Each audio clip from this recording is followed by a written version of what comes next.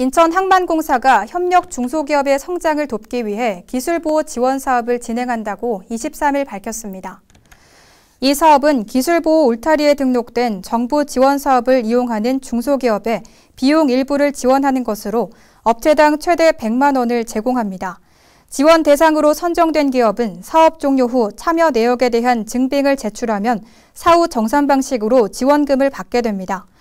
인천 항만공사는 2018년부터 현재까지 총 11개 기업에 15건의 기술자료 임치 비용을 3개 기업에 기술보호 전문가 자문 비용을 지원했습니다.